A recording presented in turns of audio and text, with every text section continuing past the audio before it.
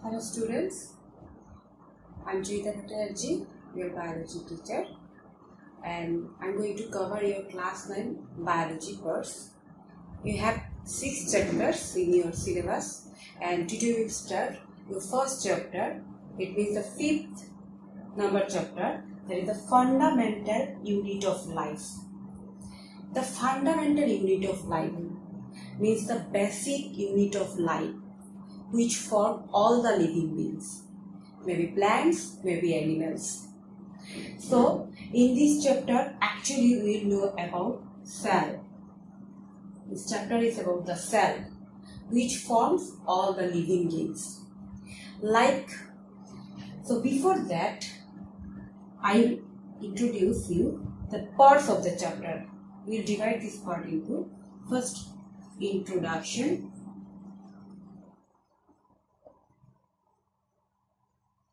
Two, discovery. Number three, that is the uh, types of or kinds of cells. Kinds of cells. Number four, shapes and sizes shapes and sizes depends upon their function also.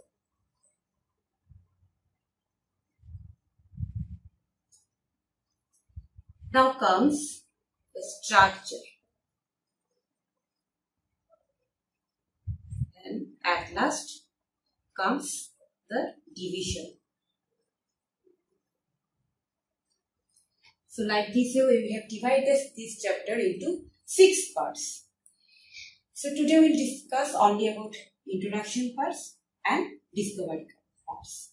In next classes, we'll discuss about kinds of cells. So, in this introduction parts, we will know what is the fundamental units, means that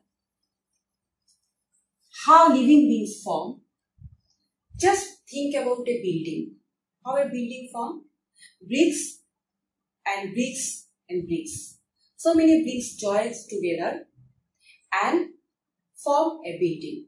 So if we think bricks as the basic unit of a building, same way we can think that a cell is the basic unit of life or living being.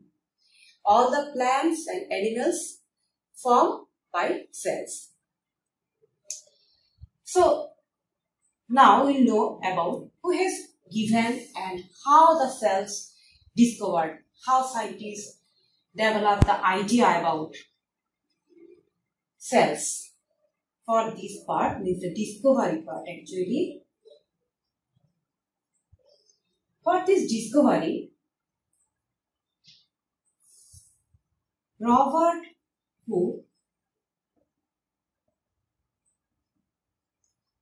in the year of 1665. He was the first biologist who first observed cells in cork. Cork of tree. Means cork means the substance. Substance which you get from the tree bark. There he has observed some honeycomb-like structure. This is a structure. This is called honeycomb-like structure. A hexagonal pattern.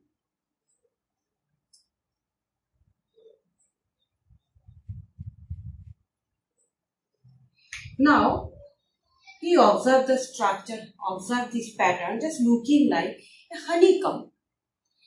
In honeycomb, so many small small cells are there that's looking like small small chamber or small small houses. In Latin word, these small small chambers or small chambers are called cell. So from that Latin word, the, the honeycomb-like structure, Robert Hooke got the idea that it's maybe the name should be given as cell. Still now we are using this term as cell. So here you've got, and he used very primitive or self-design microscope. Remember, microscope. Microscope is very essential in this chapter because we cannot see the cell directly. So, microscope taking is very important part here and Robert Hooke discovered his own microscope, a very primitive microscope and observed the structure of cell. Now, after Robert Hooke came Leeuwenhoek.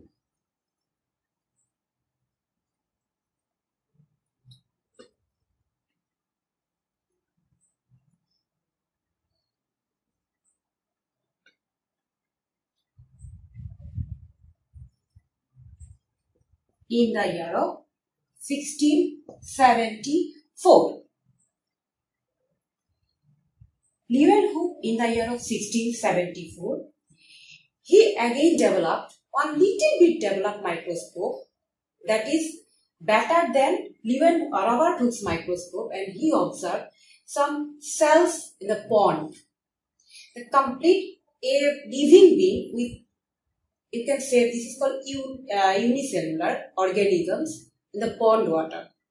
He was expert in some glass. Uh, so he developed this microscope and got the idea of cells in pond water. He observed some cells in the pond. Next came in the year of, um, you can say, Robert Brown in the year of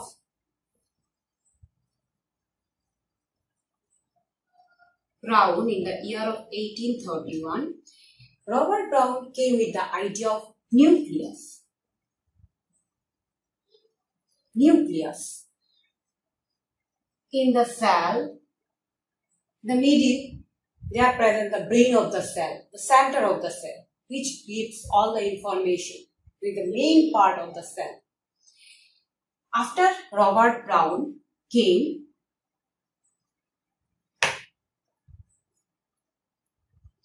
Now after Robert Brown, Purkinje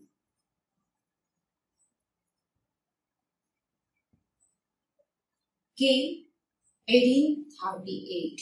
He has given idea about protoplasm.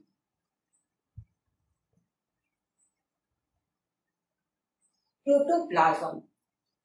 In a cell, we know that nucleus is there, but there are some jelly-like substances present in the cell. These are called protoplasm.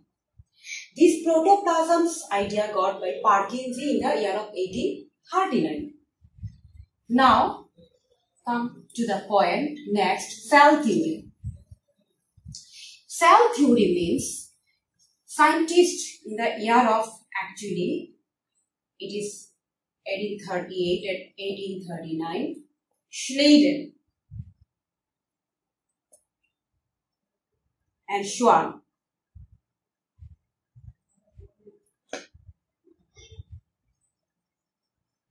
Schleiden and Schwann, two biologists, they have ultimately came with the cell theory. It means, cell theory means, cell theory. It means Cell is the basic unit of life for plant also, for animal also. Cell from the all the body structure, maybe it's unicellular cell, maybe it's multicellular cell. Everywhere they form the body. So this idea given by Schleiden and Schwann 1838 and 1839.